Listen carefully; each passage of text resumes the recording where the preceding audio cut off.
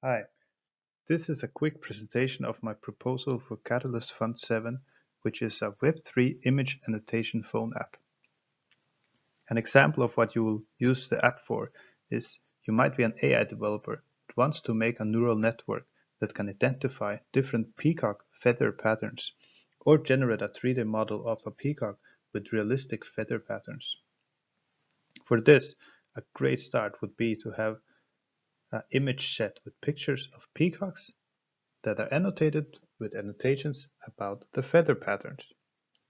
Such a specific annotated image set is not expected to already exist, and it is, it is probably not worth it for an AI developer or engineer in Silicon Valley to sit down and do the annotations themselves, and for anybody else in America for that matter because simple annotation work like this has a worth around two to three dollars an hour if you look at annotation jobs as they are now.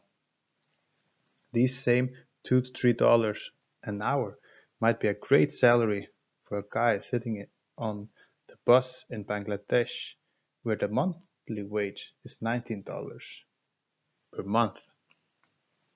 Here the real power of the app comes in because we will only need to connect the person in Bangladesh with a Cardano wallet on which he will get his payments. Other than that, they can stay anonymous. This cuts out so much of the legacy finance inertia and is a deceivingly powerful part of Web3 that cryptocurrencies enable. The app will therefore only connect a user to a wallet.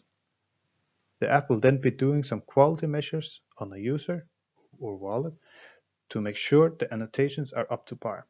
And there are many ways to do these incentives to ensure high quality annotations.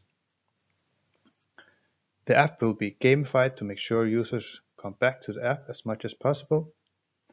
It will only focus on annotation work that can be done on a smartphone so the app connects AI developers with a cheap annotator workforce around the world.